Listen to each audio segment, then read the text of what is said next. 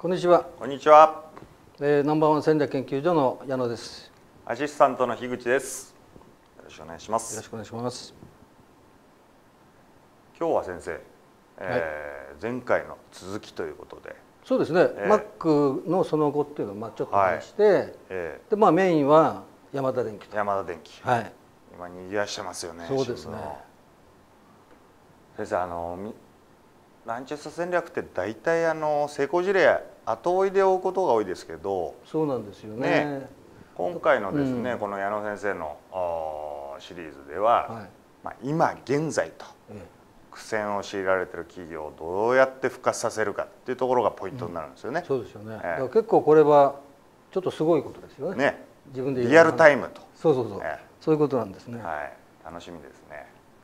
で早速そのマックの復活戦略。ええまあ前回これまああのお話したんですけど。はい、えー弱者の立場で、ええまあ、いわゆるコンビニとのバッティングがしてるから、そうですね。えー強者じゃないよと、ええ業界がもうぐちゃぐちゃになってきてるってことだね。まあ、その書き方としてその、まあ、やるべきこととして3つ挙げたんですね、はいまあ、1つは朝食セットの200円をもっともっとアピールするべきじゃないかうんうんうんもう1つはビジネスマン、まあ、OL 用のはい。ランチセッットとまあやっぱり一番ね稼ぎ時の土日はハッピーセット。ハッピーセットのこのランチ版を出したらどうだろう。はいはいはい。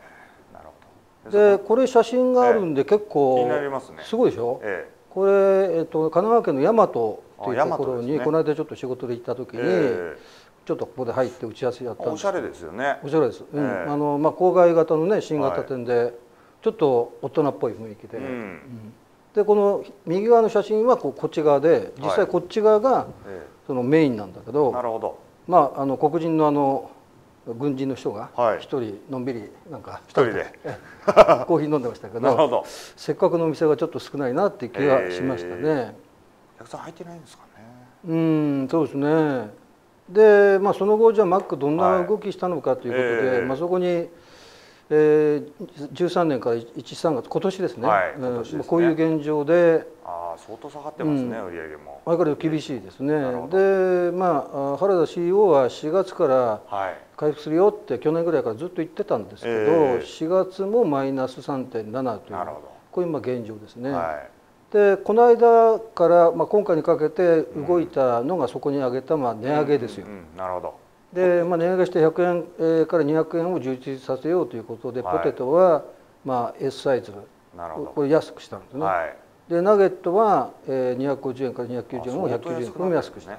ただ100円のハンバーガはい。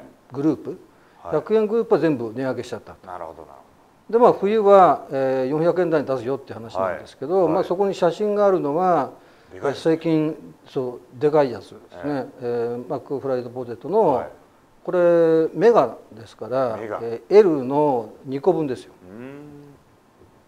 で注意しなきゃいけないのは、まあ、これは日本人だけじゃなくてもええ世界的にそうなんだと思うんだけど、マックフライドポテトっていうのはむちゃむちゃくちゃカロリーが高いんですね。うん。まあ普通にね。で L でだいたい571キロカロリー、なるほど。えーということはあのビッグははい。2個入ってますから、え1000を超えるわけですよね。で一般的に今あの宅配弁当ってだいたい500キロカロリーえそうですよね。抑えなきゃいけない五六百。うんはいはいはい。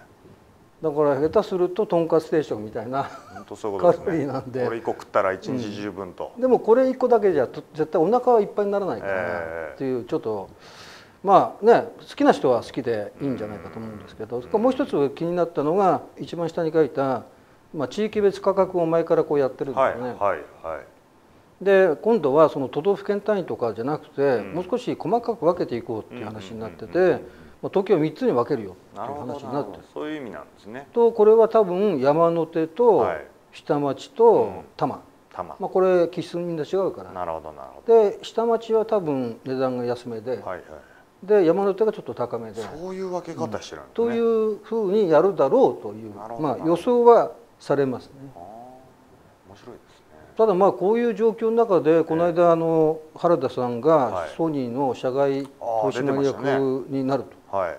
というような話は一体どうなんだろうそれどころじゃないんじゃないですか。うん、で逆にね最近モスがはい。結構元気出してきて、ええあの業績もいいし営業時間もちょっと広げたりして、まあマックはちょっといろいろ苦戦してるというか悩んでるから今のうちになんとかしようよみたいな。そういう動きですから、まあ、ちょっとそういう時にまあね常勤ではないんだけど、ちょっとそんなことやっていいのかなっていう。ちょっとまあ社内でもちょっと皆さん気になるんじゃないかなっていう気がしますね。だからまあこの前のページでお話ししたことをまあぜひねうん。進めてほしいなというふうに思います。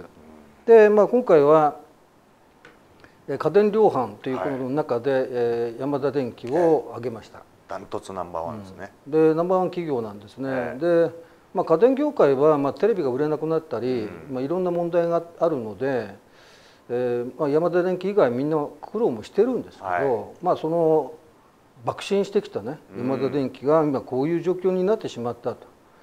いうことで、まあ、あの会長が、えー社長に復帰するっていうのは非常に最近よくありますよね。全取締役降格なんですね、でねこれはどういう意味なのかなと思って、よくわかんないんですけど、えじゃあもう取締役辞めさせられたのか、はい。ねでもないと思うし、ん。うん。まあただまあ厳しいよっていうことなんですね。でじゃあ山田電機って今までどんなその歴史持ってきたかというと、はい。えーそこに書いてた通り、まあ、この会長が、うんえーまあ、日本ビクターにいたんですね。で辞めて、えー個人商店とうん。当時はナショナルショップを経営した。なるほど。で宮崎出身なんあですね。そうなんですね。どう見てもねやってること宮崎県の男性、県民性としてはうん、県民性としてはなんかええっていう感じがしなるますほどですね。で、えー山田電家電電化センターというのを前橋で、まあ、創業したんだけど、うんあの家電業界では北関東の YKK ああ聞いたことありますね、うん、はい。YKK わかります？山田小島うんケーズ電機ですよね、さすがですね。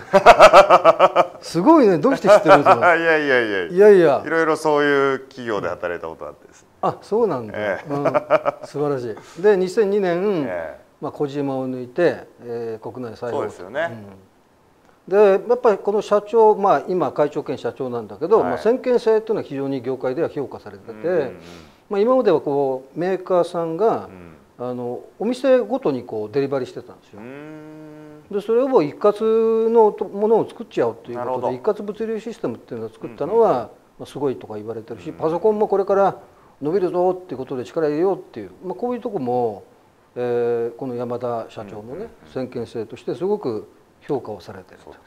まあ、こういうのは大体後追いの話みたいにもなりかねないところはあるんですけど、ええ。先生が嫌いな、うん。で要はじゃあ不審という意味でいけば、はい。まあ今ちょっと触れたまあ、テテレレビビがもう一応アナログからねデジタルに変わって、まあ一応一段落、うん。まあ、プラス、まあ、全家電量販影響しちゃった反日運動。というのがまああるんですけど、うん、それ以外やっぱり問題があるよとい。うことで罰をつけたところが、まあ、山田電機がこう直さなきゃいけない、まあ、欠点というかそういう部分だと思いますね。うん。でまず、えーまあ、これはもう社長というか、まあ、会長山田さんがずっと言ってることですけど、まあ、接客なんかいいんだという発想で、とにかく安いんだからみたいな部分はあるんですけどちょっと接客が悪すぎるっていうのはもう皆さんねお買い物行かれた方はみんなと思うし質問してもうん。あんまりよく分かってない人が多いから。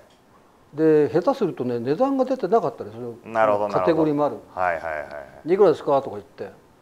そういう意味ではちょっとそのお客さんから見ると、まあ、他の家電量販店に比べて、まあ、ここの接客と専門知識のまあ欠乏っていうのはちょっと問題、うん。ただこれはすぐにねこう変えられるというわけじゃなくて教時間かけて、ね。うんやらなきゃいけない。うん。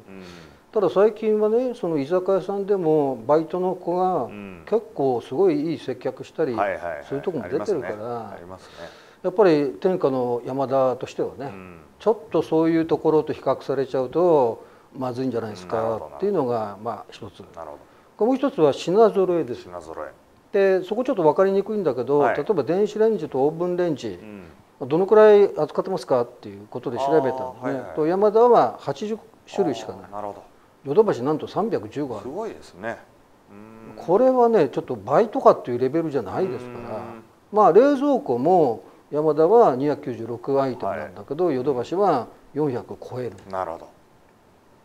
やっぱりこうねナンバーワンの家電量販としてはそうですね。まあそこそこその、まあ、これヨドバシと比較してるヨドバシはそういう意味では品揃えの良さが評価されてるところではあるけれども、やっぱ下位のヨドバシに対してこんなに差がついちゃうのはちょっと問題なんじゃないか、ね、まあ、逆の言い方すると、はい安くするためにはうん。ロットを、まあ、でかく注文しなきゃいけない、だからこう絞り込んでっていう。これはね結構弱者の戦略としてはいろんなところであるんですけど、1位がね強者がこういうのはまずいんじゃないか。カバーで負けちゃってるってことですもんね、そしてはもう一つがうん。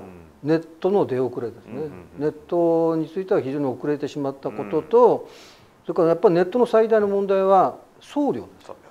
特に家電製品は結構送料高い。そうですねで山田は今の今の段階では3000以上のお客様は無料ですよ。そうなんですね。ヨドはヨドバシさんはもう何とも無料ですよ、ヨドバシはすごいですよね最うん近、このアマゾン超えたって言われてうんますからね、この太っ腹さ。はまあ考えてみたらね300円400円とかね、うん。そういうもの1個買うっていうことは普通なかなかないい、から、うん。そういう意味ではまあそれはもう当然リスクは考えなきゃいけないんだけどちょっとここは問題うんなるほどで最大の問題はやっぱりそこの今のお話したネットユーザーのバッティングなんです。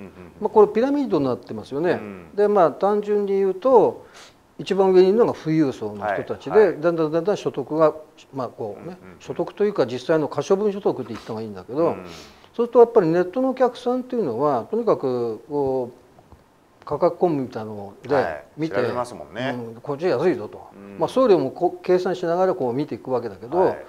まあ、あの全ての人がそうではないんですけど、ネットのお客さんというのは結構低価格志向が強いうんお客さん、で山田も山田電機が狙ってきたお客さんもそういうお客さんなんです、はいはい。だからそのネットの売り上げがどんどん上がっていっちゃうということは山田のお客さんが減っちゃう。ね。売り上げが減っちゃうということになるし、さらにそのネットの出遅れっていうのはうん。当然響いてきちゃう。うん。だからこのままいくとやっぱり山田は結構厳しい状況に追い込まれてしまう可能性があるっていうふうに言っていいんじゃないかと思うんですね。なるほどなるほど。うん、そこをどういうふうにするかっていうのがそうね。うん。まあ、以上その山田電機のはい。まあ前編としてまあ現状ということでお話をしました。はい